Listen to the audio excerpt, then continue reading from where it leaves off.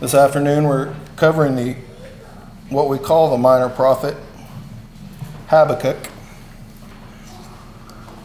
And I've learned a lot from this study more than I was talking to Willie the other day and I've read through the minor prophets, but usually I was just reading through them, breezing over them, getting on my way to the New Testament. I'd finally gotten through all the hard parts of the Old Testament, was ready to be done with the Old Testament, breezed through them to get to the New Testament stuff I was more familiar with. But after studying this, I really did learn a lot. Um, I'm going to try not to go off in too many rabbit holes and allow you to do that yourself. There's only three chapters in this book, and sometime during the week, if you have time after the lesson, just go ahead and read through the book. And I kind of had personal applications in my head in three different ways. One was on a national level because we are dealing in the book of Habakkuk with how uh, Babylon is going to take over. I tried spelling while I was reading or talking. See if that worked out. Uh, we're dealing with how Babylon is going to take over Judah uh, and how God uses world nations for judgment. Um, so in my head, there were some applications to world events, nations around us, and how they interact with one another, and how God uses nations, but at the same time doesn't interfere with self uh, with free will, which is kind of a difficult concept, but it, it's kind of clarified in the book of Habakkuk. Uh, the second way is how we as the church relate to the world. Uh, you know, we live it seems to be an increasingly decaying moral decay in the world around us. Uh, and how do we relate to that? How does that affect us? Uh, that's the second way I thought about it. And then the third way was personal. How, uh, yeah, I don't know. Maybe that's not it, but you know what I meant. It means personal. I can't talk and write but I am chewing gum, which is not a good speaking thing to do, but I'm walking and chewing gum. So, anyway, so you look at it in a personal light. Um, how do I relate personally to the church around me?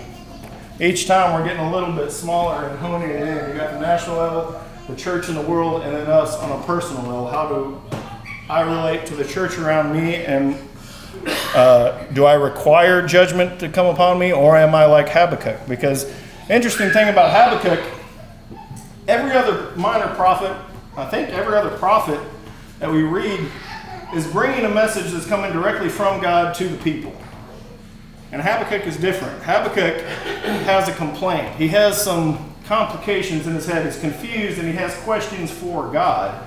And then what we have in the book of Habakkuk is God's response to his questions. And it's pretty interesting. Now, where we find Habakkuk is as we've been going through the Old Testament, we're in the Judah alone period. And we can probably, we've looked at the map long enough. I think we can start filling it in with our heads. You've got the Sea of Galilee up here. There's the River Jordan. You got the big salt sea down here, remember? Uh, Jerusalem's somewhere around there. Uh, you got Bethel and Shiloh up here. But right here is the dividing line between Judah and Israel. Now at this at this point, the Syrian army, Assyria, has already come and conquered Israel. This is all part of the Assyrian kingdom already. We're dealing with Judah alone. And Nineveh, way up here, is the, the uh, capital city of Assyria. And way over here, at the time, of course, there's not cell phones, newspapers, there's no internet. Um, so you don't know what's going on in another part of the world unless there's a messenger that happened to come through your town. There's a little city called Babylon right there who's starting to rebel against the Assyrians and eventually take them over. And that's the city that we're going to be dealing with. Uh, but this falls in the time period probably somewhere between 625 BC and 605 BC. There's 20 year span there where it could be in. I think it's probably leaning towards the latter part of that, more maybe around 615 to 610 BC. Um, 625 BC is the last good king in Israel. Remember, the last good king was Josiah. And Josiah made great reforms in the land. Remember, he was the king who he became king when he was a child. Uh, while he was king, they found the law in the basically abandoned temple, restored the worship. Uh, they had the Passover for the first time in a long time. Uh, and he was the last good king. So during that time, the people returned to God, but it was more so just surface value. Uh, if you remember in Jeremiah chapter 3 and verse 10,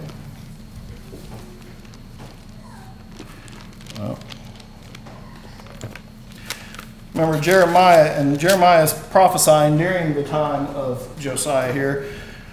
There in Jeremiah chapter 3, verse 10, it says, Yet for all of this, Yet for all of this, her treacherous sister Judah did not return to me with her whole heart, declares the Lord, but in pretense.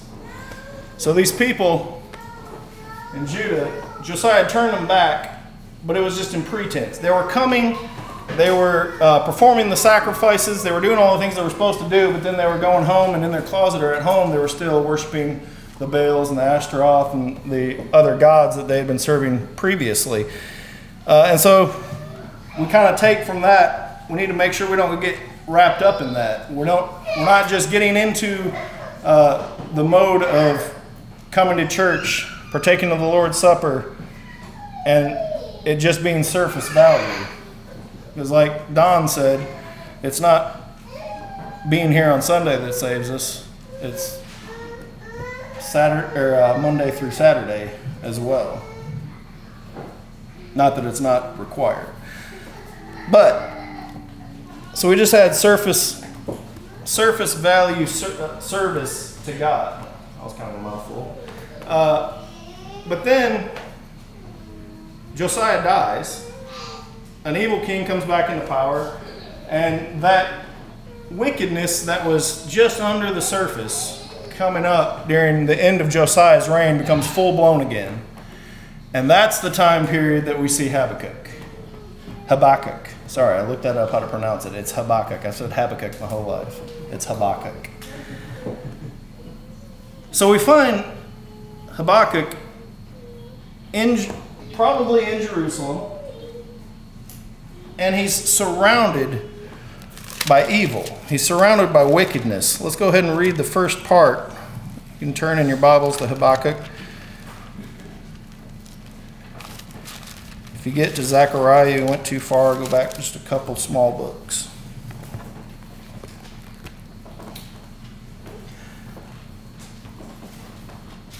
The oracle that Habakkuk the prophet saw. Verse 2 O Lord, how long shall I cry for help, and you will not hear? Or cry to you violence, and you will not save? Why do you make me see iniquity, and why do you idly look at wrong? Destruction and violence are before me. Strife and contention arise. So the law is paralyzed, and justice never goes forth. For the wicked surround the righteous, so justice goes forth perverted. So Habakkuk here, we're, we've got the perspective of what, what I refer to as the remnant. You know, remember those few righteous people that God said He was going to preserve in all of wicked Judah? That's Habakkuk here. And he's feeling pretty lonely. He's righteous, and everyone around him is wicked.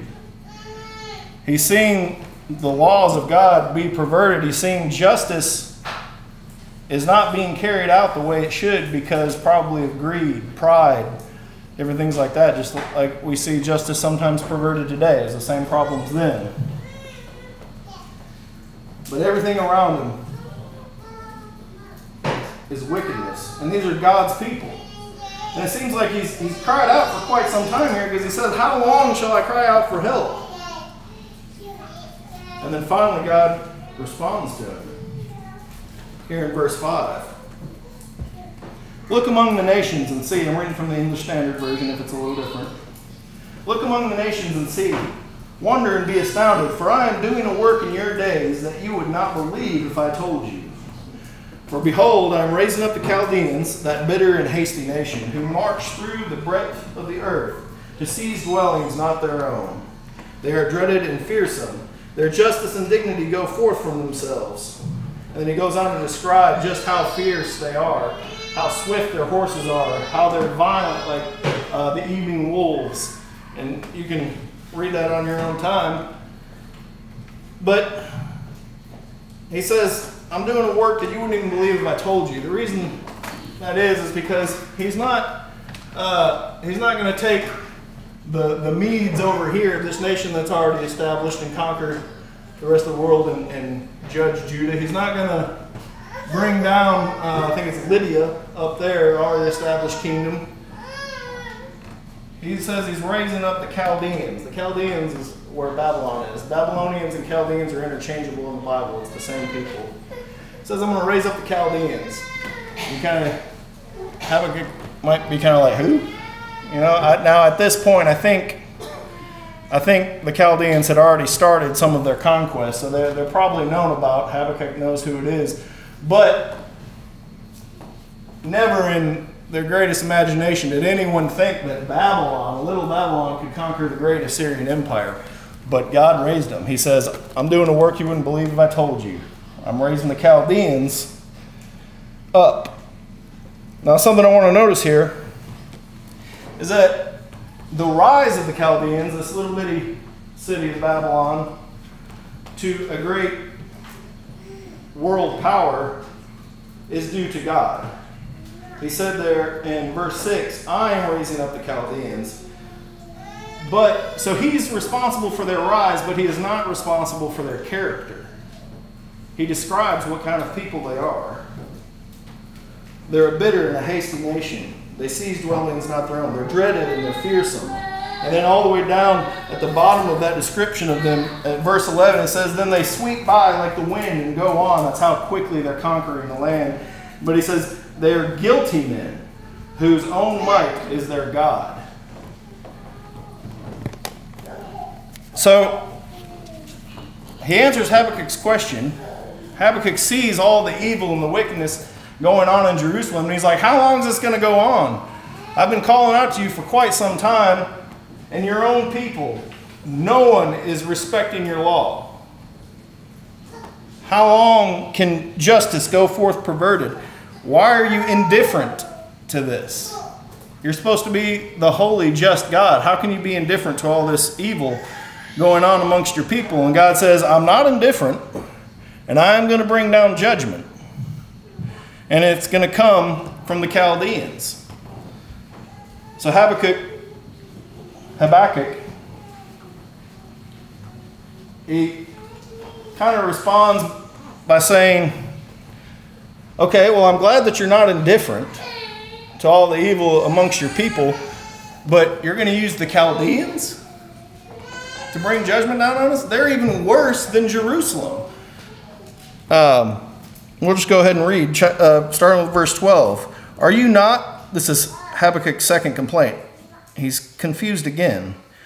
Are you not from everlasting, O Lord my God, my Holy One? We shall not die. I like that confidence there. He knows if he's righteous, he won't die. O Lord, you have ordained them as a judgment, and you, O rock, have established them for reproof. You who are of purer eyes than to see evil and cannot look at wrong, why do you idly look at traitors and remain silent when the wicked swallows up the man more righteous than he? So he's saying, how can these you use these people who are even more wicked than Judah, as bad as Judah is? How can you use them to punish us? That just doesn't seem right. It doesn't seem just. It doesn't make sense to Habakkuk.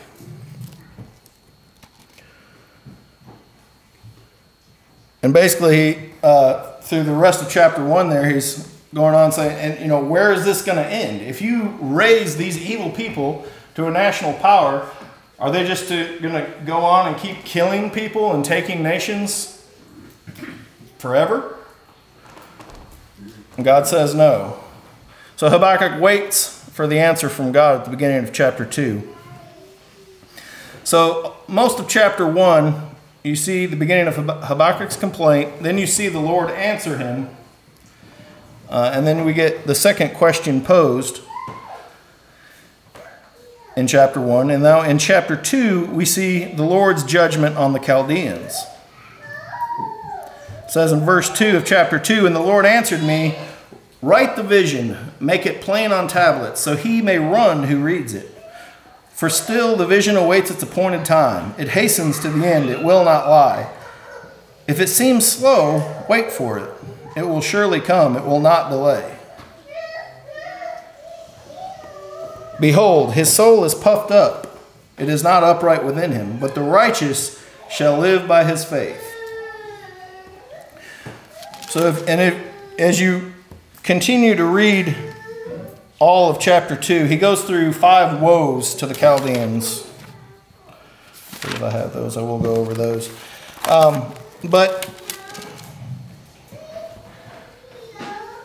God is saying here Judah has to be punished because of the evil that they've done, the wickedness that they've committed over generations. It's come to the point where it's time for judgment on Judah. And we've seen that from multiple prophets. And he says, I'm going to use the Chaldeans to execute that judgment. Let me back up. Judgment is required, but the tool which I use to execute that judgment is irrelevant. It doesn't matter if I use a big nation or a small nation, a righteous nation or an evil nation. It doesn't matter. The fact that judgment is coming down is what matters. Now,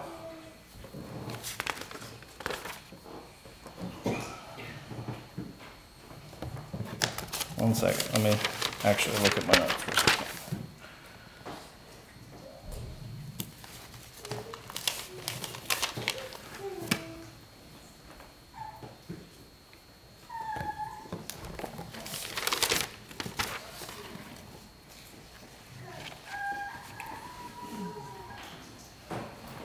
Yes, judgment will indeed come upon this wicked nation. And it might not happen as fast as you think it should, but just wait for it. It's going to come. The promise is certain.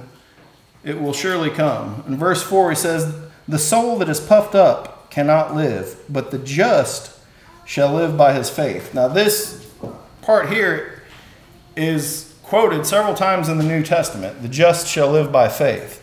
Uh, that's the the scripture that Paul quotes to lay his foundational argument, argument against salvation by works in Romans 1:17 and Galatians 3 and 11. And the Hebrew writer, in his day and time, he saw the, the invasion of the Roman Empire coming upon Jerusalem again in his day, and he quotes it in Hebrews 10 37 and 39 as well, um, as he sees that coming. And I've always kind of misunderstood that phrase. I, I always, I guess I kind of always thought of it as um, the righteous will live their daily lives, lives by faith. But if we look at it here in context in Habakkuk, he's saying that the just will survive by their faith. The just will live by their faith. Babylon, their God, what they have faith in is their strength and their might. And they're conquering all these uh, kingdoms and building this mighty world power, but they're doing it in an extremely ruthless way. And God is saying, I'm going to use them for judgment, but in the carrying out of that judgment, that I have commissioned to them, if they do it in an evil way, what are they doing? They're sowing evil seeds. They're puffed up and they're proud and they're, they're doing these things out of their own might and their own pride. Eventually, that's going to come back to bite them. And that's on them. And see, that's how free will and God's use of these nations kind of coincide. God will use the nations to his end but he doesn't negate their free will. If in carrying out his will, they sow seeds of evil, that evil will come back and destroy them. He goes on with five woes to the Chaldeans. Let's make sure I'm not missing anything here. I'll start with verse 5. Moreover, this translation says wine is a traitor. In the Dead Sea Scrolls and the uh, Masoretic text, it says wealth. Either way. Moreover, wine is a traitor, an arrogant man who is never at rest. His greed is as wide as Sheol. He's describing the Chaldeans. Like death, he has never enough. He gathers for himself all nations and collects all his own peoples. Shall not all these take up their taunt against him with scoffing and riddles for him and say, and then he goes through these five woes. He's saying all these people that they've conquered in such a ruthless and brutal way, at some point they're going to be fed up with it and they're going to rise up and they're going to rebel against them. The first woe says, Woe to him who increases that which is not his. He's saying a nation can overrun the world for a time, but then the oppressed people will rise up against it and plunder the plunderer. The second woe Woe to him who gets evil gain for his house. He's saying, Woe to the one who makes his own nation rich by coveting and taking the wealth from another of another nation. The very property taken in such a way will testify against that nation in the day of judgment. The third woe Woe to him who builds a town with blood and a city with iniquity. Makes the point that will a, a people captured in such a brutal and ruthless way and people who are forced to do labor to rebuild that city, are they going to weary themselves defending that city? remember, next, after this nation falls down, the Medo Persian Empire that was way up here comes and takes over. And, you know, suppose you're in Carchemish up here. Medo Persians are coming over Babylon, all the way down here, has control of your city. They're coming in to take over. Are you going to put up much of a fight if you're from Carchemish and you've been brutally, ruthlessly treated by the Babylonians? And here comes the Medo Persians with King Cyrus saying everybody can worship their own God still. Are you going to put up any kind of fight against him? No. You're going to let him come take the city and just how quickly the Babylonian Empire can crumble. Why? Because Everybody who was in the Babylonian Empire was taken by force. And they were not treated right. Fourth woe Woe to him who gives drink to his neighbor to see his neighbor's shame. He says, Now it's your turn. The shame, the reproach, the destruction you have dealt out to others will be returned upon you. And the fifth woe he says, Woe to the one who builds an idol. We'll read uh, verse chapter 2, verses 17 through 20. And he's speaking to the Chaldeans or to the Babylonians here. The violence done to Lebanon will overwhelm you, as will the destruction of the beasts that terrified them, for the blood of man and the violence to the earth, to cities and to all who dwell in them. What profit is an idol when its maker has shaped it? A metal image, a teacher of lies for its maker trusts in his own creation when he makes speechless idols. Woe to him who says to a wooden thing, Awake, to a silent stone, Arise. Can this teach? Behold, it is overlaid with gold and silver, and there is no breath at all in it. But the Lord is in his holy temple. Let all the earth keep silence before him.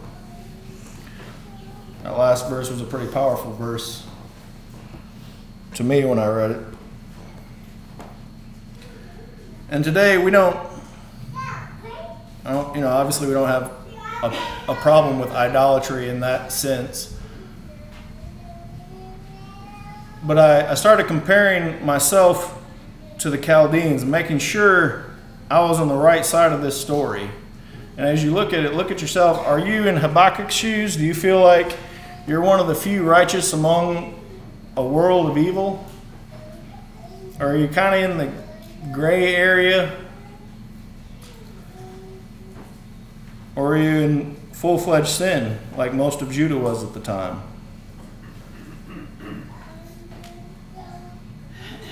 Our idolatry probably comes more in the form of the Chaldeans where they were worshiping actual wooden images and metal images, but God said that their God was their might, our pride.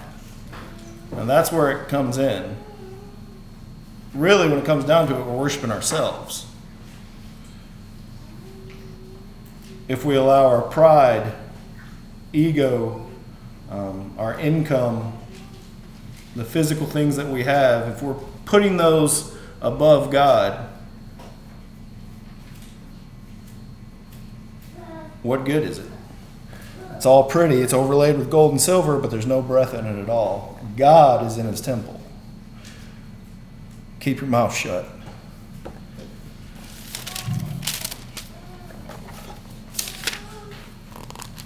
I, I missed something I wanted to cover. So, from a national perspective, on what we've covered thus far, you know, God's description of the Chaldeans is not flattering. They're an arrogant and greedy, utterly wicked. The Chaldeans were planting the seeds of their own destruction. And that is the way of evil wherever it may be found. Judah had made judgment inevitable. I've covered all of this. Judah had made judgment inevitable by her own sin.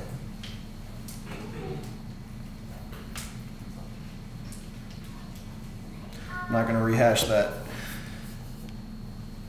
Babylon being the nation under consideration here in this book, but the principles that exp- expressed here are universal principles. A nation will stand as long as it upholds decency and justice in its dealings with its citizens. But as it becomes more and more oppressive and wicked, it is building more and more towards its own destruction from within, making it susceptible to attacks from within or without. Only in righteousness and justice is there life, whether in an individual or in a nation.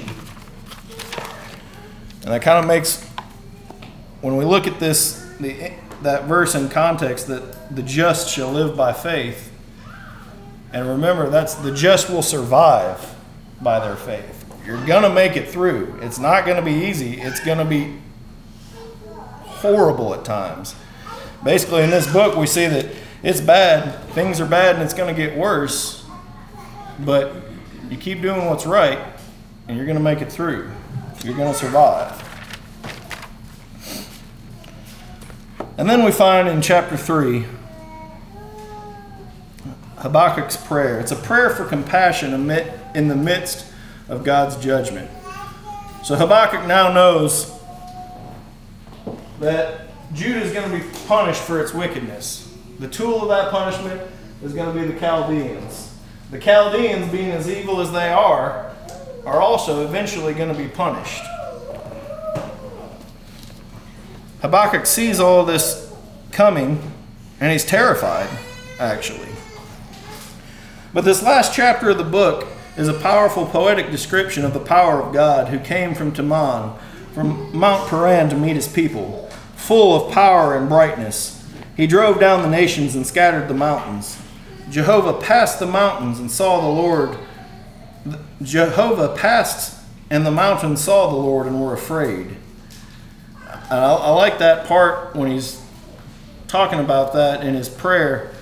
You know, if you've ever driven out west, maybe even the Smoky Mountains do it for you. They're just so covered in trees you can't really see all the rocks and just how rugged and strong the mountains look because they're covered with beautiful trees. But if you go out west and you see the Rocky Mountains, there's not many trees on them and they're just jagged and they're huge and they're strong and they're fierce. And you're just kind of struck with awe being at the base of one. And he says, God passed by these huge, strong, mighty structures and they just trembled. And the Lord marched through the land and threshed the nations this last chapter, especially towards the end, is about that faith that God talked about. The just shall live by faith. And we see the type of faith that we're supposed to have here in the end of Habakkuk's prayer. But where did he get that faith? Think about the structure of his prayer. He goes through the the first probably the first half, if not two thirds of chapter three, is Habakkuk going back and recounting the things that God has already done, the promises that he's kept. Habakkuk has this faith because God that God is going to keep his promise through all of this calamity because God has always kept his promises. He goes back and looks at the history of his people, talking about God coming from Teman uh, to Mount Paran.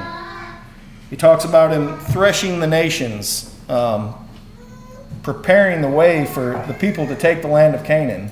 These are things that God has already done. He's looking back, and now those facts give him confidence and faith that God is going to keep his promise.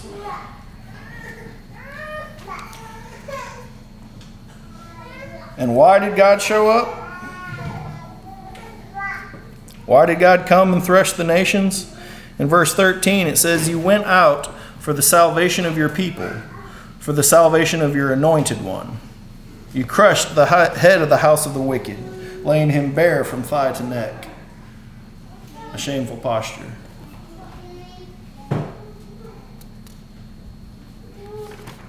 Every time that God's people wandered, and we've seen this through our study, every time God's people wandered into sin, completely turned their back on God, things got really bad for them. Every time they called out, what happened every single time? It's what Habakkuk records here. God came for their salvation. And because He's come every single time, Habakkuk has a, a faith that is really just astounding. And then at the end of the chapter, we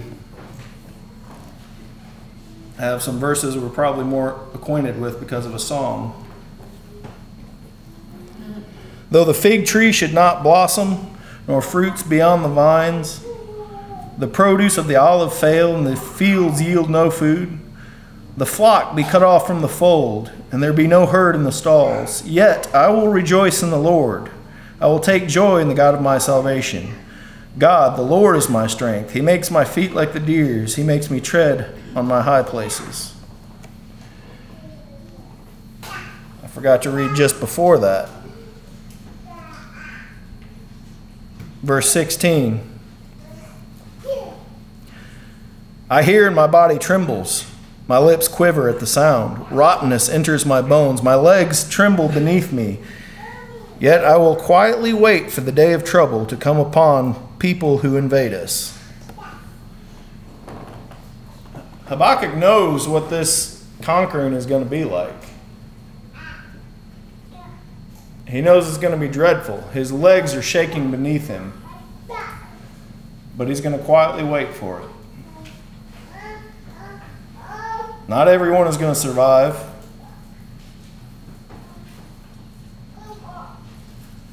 And he's terrified.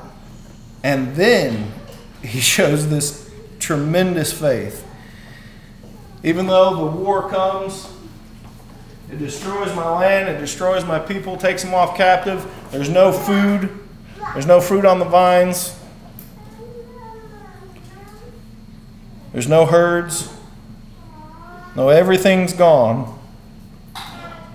He's going to live because he has faith. He takes joy in the God of his salvation. God, he has faith that God will save him. And as that translates to us in the New Testament and how we see Paul portray it, is we're not promised, you know, not obviously, not all of the Jews survived that conquest by the Chaldeans. We're not promised that we're going to survive hard times, maybe in our nation or through unfortunate events. But we are promised that if we are just and righteous, we will live eternally because of our faith. We will survive forever because we are faithful. hopefully this study has been at least partly as beneficial to you as it has been for me. And you can ask yourself those questions. You know, you think about it in a national context, and it seems like we're in troubling times from a world perspective, but if you look back through history, it seems like we've always been in troubling times in one way or another. And you can be worried about what's going to happen. But what I've learned from Habakkuk is God's in control. And it may be an evil nation coming to execute whatever plan he has in place. But those people will be punished for their evil deeds. So I try not to worry about it. God's in control all the way around. I got to keep doing what's right and have faith in Him. As it relates to the church and the world around me, like I said before, where, where do you land? You know, sometimes you may feel like, especially younger people, I won't go into that story. I run out of time. But sometimes you may feel like Habakkuk. There were times when I was younger where I did feel like Habakkuk. Like, I was a pretty sheltered kid, a pretty good kid. And at times it felt like I was the only one trying to do what's right. And then that has an, an effect on you. And then you get to the point where you sometimes you just feel like, I mean, can really anybody make it to heaven? Uh, you know, you go to a, a meeting, and these are God's people, and people are doing all kinds of things that just aren't becoming of a Christian. And that happens at a young age, and you start wondering if these are God's people, the chosen people out of the whole world. I mean, can anyone really be saved? This is the generation that my generation is coming up, and this is what we're built upon. Can anybody really be saved? And it has an effect on you, and you start to doubt, and that can have negative effects on you. Look at Habakkuk. Habakkuk said, It doesn't matter if all Judah is worshiping Baals, cheating one another, lying, committing sexual immorality. It doesn't matter. You stay faithful. And you will make it through. And then on a personal level, where do you stand? Do you feel like Habakkuk, or as in later years in, in my life, do you find yourself on the other side? Are you the one that has demanded judgment on yourself? If you find yourself there, you're going to pay the consequences of your actions. But God has promised us that if you change and you have faith in Him, you will live. If there's one who needs the prayers of the church, or maybe there's someone who's never obeyed the gospel, never accepted Jesus Christ as your king, ru- ruling currently. It's something you should definitely consider. Think about seriously. Seek someone out and have the conversations. If you have had those conversations and you're on the brink, by all means, come forward at this time while we're standing and we sing. And if anyone is in a position where they feel like they need the prayers of the church, they need the help of their brothers and sisters, or sin in a public manner, you have the opportunity to come while we stand and while we sing. Thanks for watching this video. I know what you're thinking. I don't want to miss another video from this channel. In order to avoid that, click on the red button down there, subscribe, and then click the bell icon. Not only will that alert you each time a new video is uploaded to the channel, it will also help spread the channel to other people's awareness. So go ahead, do it. Like right now, click on it.